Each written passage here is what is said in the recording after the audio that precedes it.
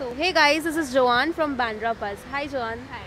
So, tell us more about Bandra Buzz. What is it exactly? Yeah, sure. So Bandra Buzz basically is a local paper, and uh, we cover everything that's happening in Bandra, right from local talent to local issues that are happening. Whatever uh, new places are open in Bandra as well is what we cover. New restaurants. Then we also cover things like um, a lot of events like these, like just like the Bhukkad Flea, we cover a lot of events in Yeah. Bandra, upcoming events as well. Is what we cover.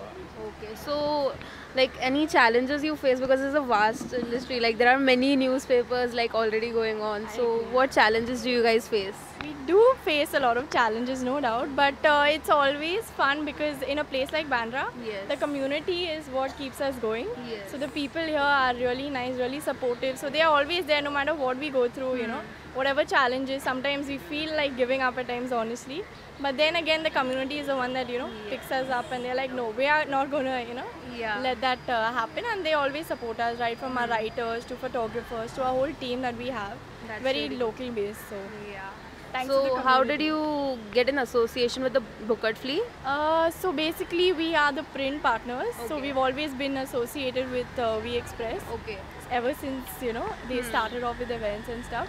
So it's a lot. It's always fun to be a part of V Express actually because always have a good time, a good response, and you know, Yeah. so it's always nice. Okay, thank you so much, Jo-anne. Have a nice day here. Thank you. All the best.